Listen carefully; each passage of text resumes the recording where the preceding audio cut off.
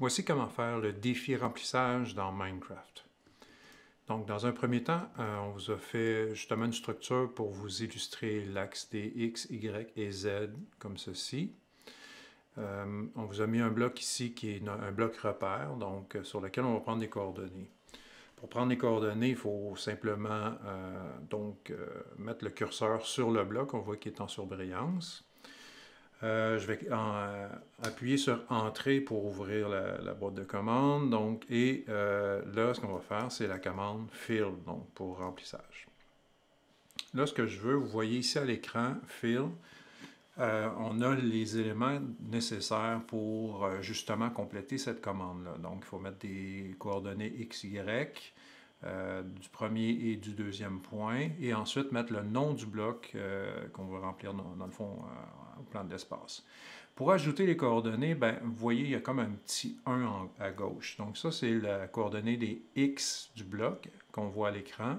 Ensuite, j'ai fait un espace euh, et je peux mettre la deuxième coordonnée, le bloc euh, des Y, donc 4. Et on termine avec la coordonnée 1.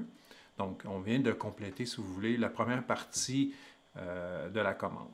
Je vais cliquer, peser sur Entrée, vous allez voir, ça va faire un message d'erreur.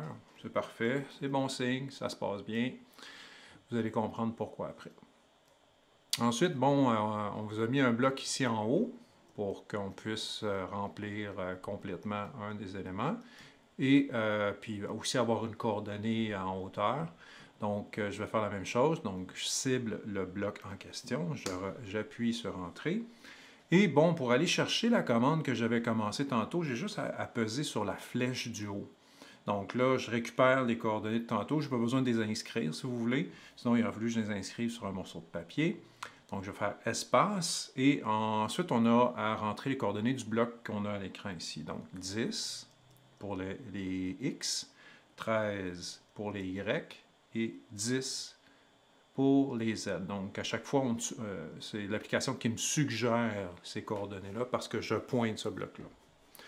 Et ici, bon, euh, c'est là que je rentre euh, le nom du matériau que je veux justement ajouter. ici, si vous faites stone, ben, on aura le matériau qui est, là. Et on a juste à faire entrer, donc on a l'ensemble de la commande qui est prête. Je fais entrer. Et vous voyez d'un coup, ben, je viens de remplir complètement l'espace qui est là avec des blocs de pierre.